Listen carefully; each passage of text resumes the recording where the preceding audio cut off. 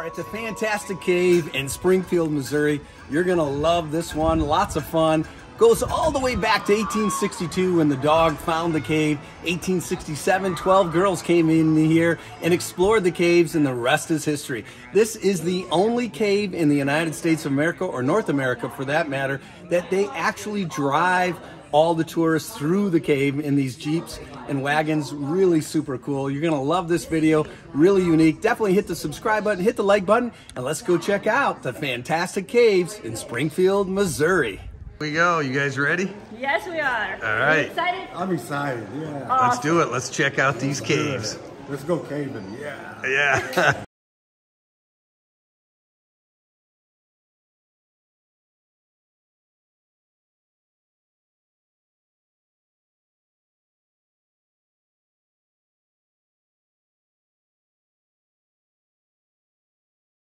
We've got a great video for you today on how to have fun outdoors. That's right, the Fantastic Caves full walkthrough and tour. If you're not familiar with our channel, please subscribe. Give this uh, video a like so we can get it out to everyone. Fantastic Caverns is amazing. If you haven't, check out our website, How to Have Fun Outdoors, Facebook, Instagram. You got to check it out and take a look at these other great cavern cave videos we have on this channel. You're going to love it, including this one down in DR. And how about this one with our sister channel, How to Have Fun Cruising with the Crystal Caves down in Bermuda. But today is all about the fantastic caves in Springfield, Missouri. Believe it or not, these are show caves and they go back and there's so much history in these caves. It's the only cave in North America to offer a completely ride-through tour which lasts 55 minutes and is held with a Jeep-drawn tram. That's right, a Jeep-drawn tram. The tram drives along a path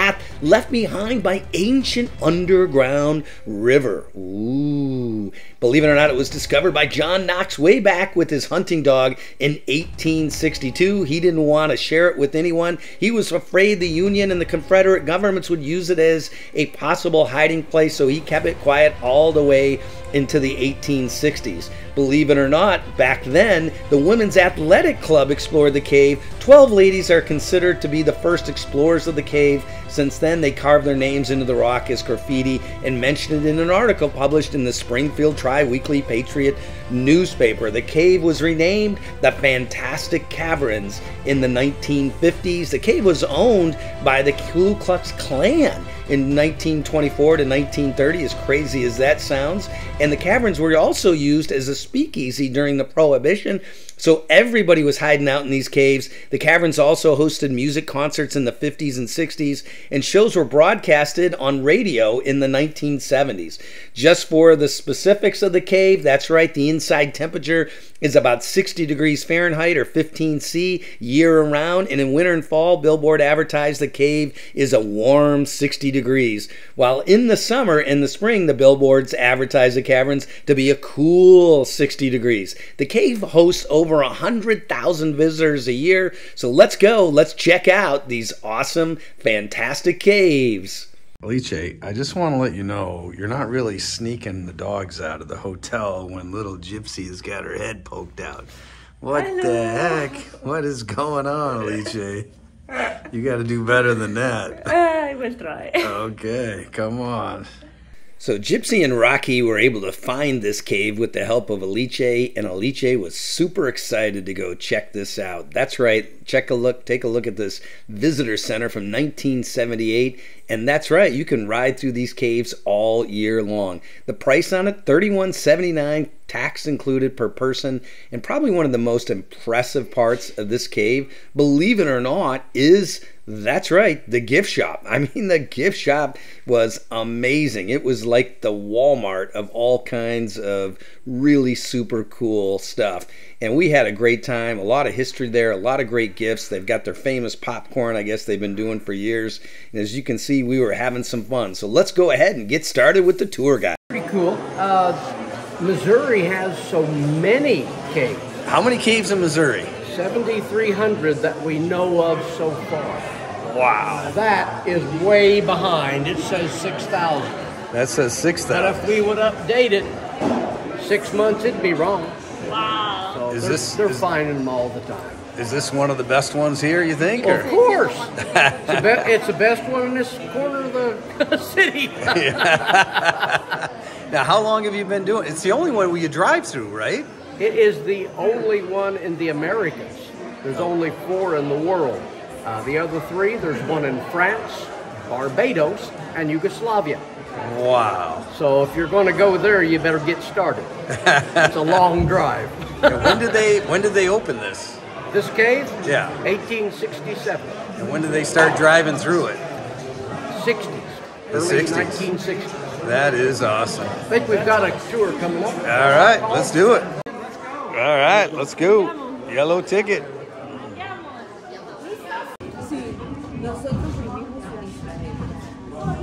One drive-through cave in the Americas. All right. You know why? We are the only drive-through cave in the Americas. But there are three others in the world. There's one in France, one in Barbados, and Yugoslavia. Now, as we go through the cave, get your cameras out. We encourage you to take all of the pictures you would like. But please do not touch the rock or the stone. We've got oil on our hands. It rubs off, and that's going to stunt the growth and damage the formations. A lot of caves, you see. Now, when you got your tickets, they put them in a little packet. If you would please hold that packet up, we want to make sure we get everybody. You want you go gather out the packet? Where are you from again? Israel, Italy. Where? Italy, Israel. Israel. Welcome. Gracias, señora. Okay.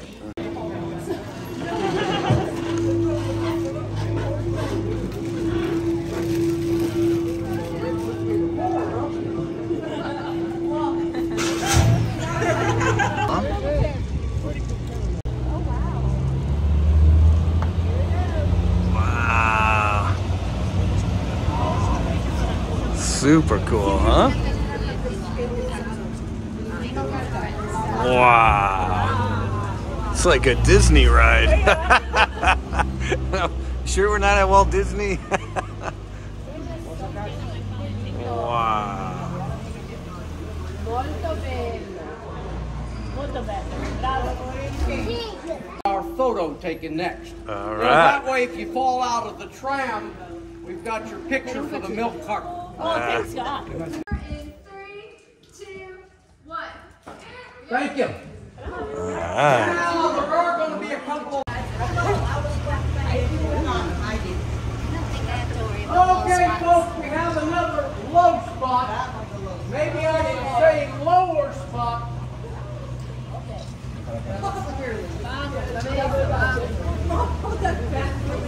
Wow.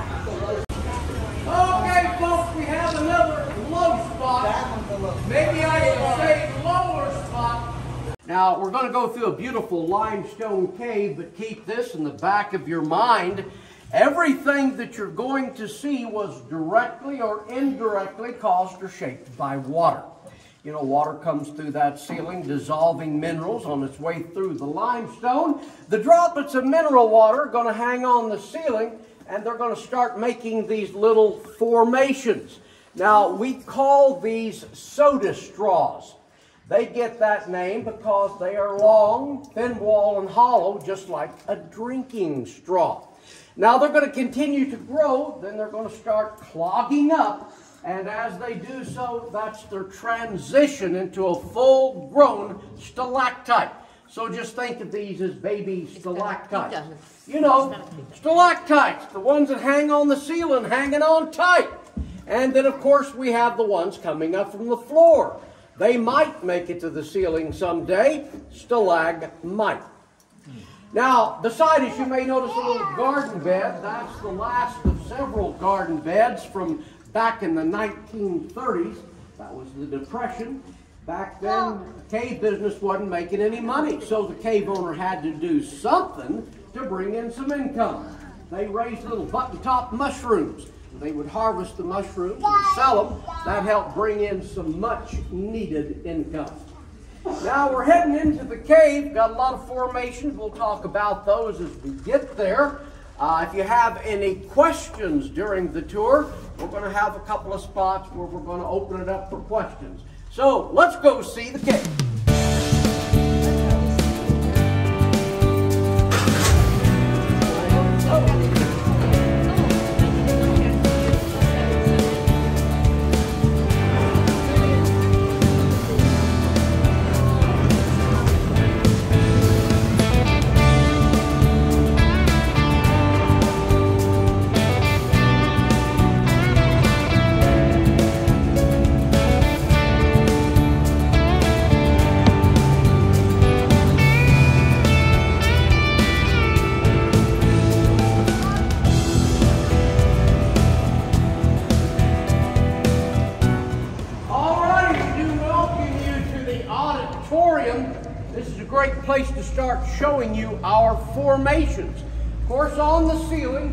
Have our little soda straws. Here, they're a little longer. They're starting their transition into a full-grown stalactite. That's with the water dripping straight down. Now, the ones in the middle are a little different. Those are cave curtains and cave draperies. With those formations, that droplet of mineral water will run along the angle of the ceiling, depositing minerals. It makes these little uh, white mineral tracks, and that's how they get their unusual shape. Now, you may notice we do have water dripping. That's mineral water. That mineral water is leaving just a little bit behind. Then it's dripping onto this stalagmite, depositing minerals and helping it grow. Now, since they're both growing, it's very probable that someday they're going to meet in the middle. They're going to grow together and become one. Now, when that happens, we're going to call it a cave column or a cave pillar. But don't hold your breath, that's going to take a while. You know, the scientists tell us that the average growth rate for these formations is currently about one cubic inch volume every 100 years. Let's make sense out of that. Let's pretend that we have a little ice cube. That's about a cubic inch. We're going to set it on top of that stalagmite and let it melt. The film of water from that melting ice cube would be equal to about a century worth of growth. So you can kind of imagine it's going to take a while for those to grow together. Now that's water coming through this porous limestone ceiling, making the stalactites and stalagmites, but this is a limestone cave. If you look over here on the passenger side, you may notice this limestone is in layers. Well, at one time, this limestone was sediment on the bottom of an ancient ocean. So those are just layers of ocean sediment that have compacted into a nice limestone. Water can come out between those layers. You may notice over here, the water coming out between the layers flows down the wall and it's set up, and we call that flow stone because it kind of looks like that stone's flowing down the wall.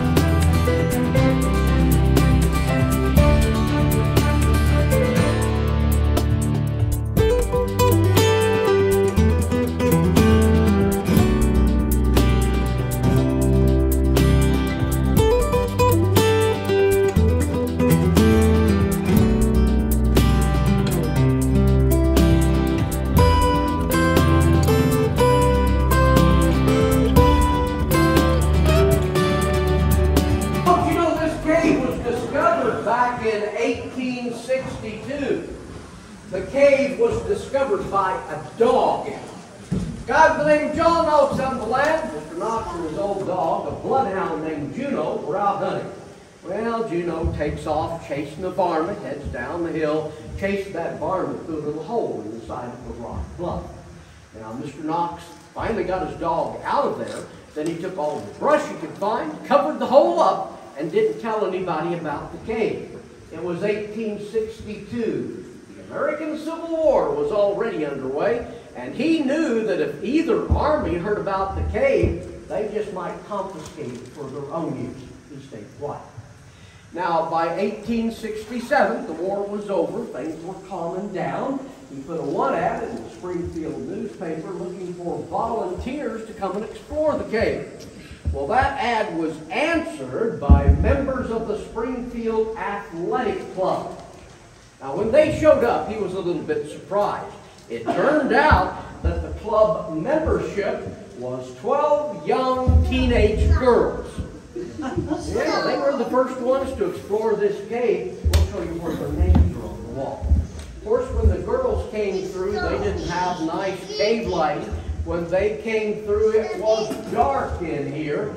This is natural cave light. All they had were candles and lanterns. Now, this went on till 1887. That's when we had a steam engine running a generator. It went into operation providing electricity. And the owner went out and bought a whole bunch of those newfangled Thomas Edison light bulbs. People were coming to this cave from miles around, not necessarily to see the cave, they wanted to see those new light bulbs they've been hearing about.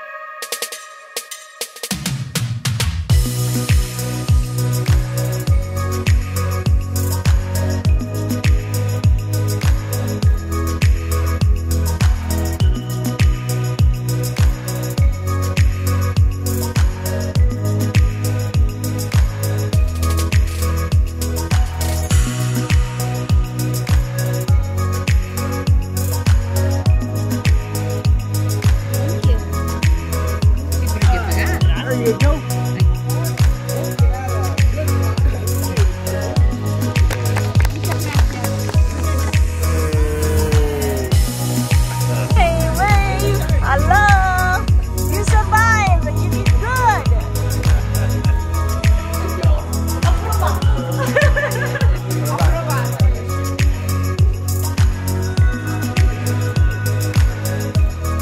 Michael, great job. You were one of the best tour guides ever in these caverns. What'd you think, Alice? Oh, a lot of great information and and you're fun. Yeah. what would you give Michael on a Discovery Bus rating?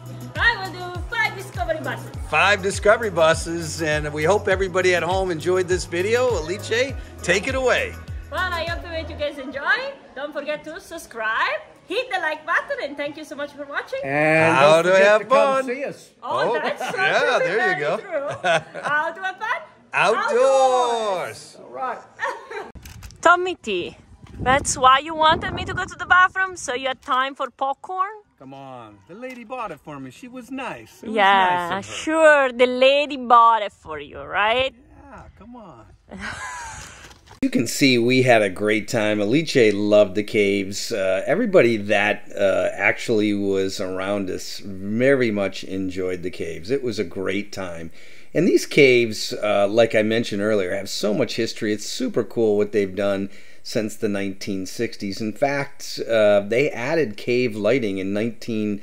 Uh, 70 um, and with that lighting system it was actually upgraded to led lighting in 2017 the campbell family has done an amazing job. They managed the property since 1966 and then in 1992 they actually purchased that's right fantastic caverns. So overall we would highly recommend it. We give these caverns a five discovery bus. So if you're in that springfield missouri on your way to branson definitely check it out. Also check out the world's largest gift shop. That's right, that's not too far from there. And if you're not familiar with our channel, definitely check out some of these videos like prehistoric paddlefish from Missouri. We've got cool RV videos. We do all kinds of crazy, like this global expedition vehicle, $700,000 Patagonia Prevos. That's right, two and a half million dollars. We've got cool videos like the Bermuda Triangle Nightmare. That's right, we got in the 27 way, 27 foot waves on a cruise ship.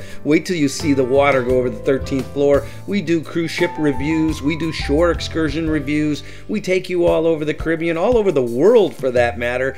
And then we also have a bunch of tip videos. That's right. So 20 things to see in Bermuda. You're going to love that with some secret spots, secret beaches, snorkeling in Salt Springs, Florida, Mackinac Island, just voted number one island. That's right. We've known it for a long time. It's a great place to go. Check it out in Kennedy Space Center. How about 10 tips for your next visit there? But overall, we hope you enjoyed this video.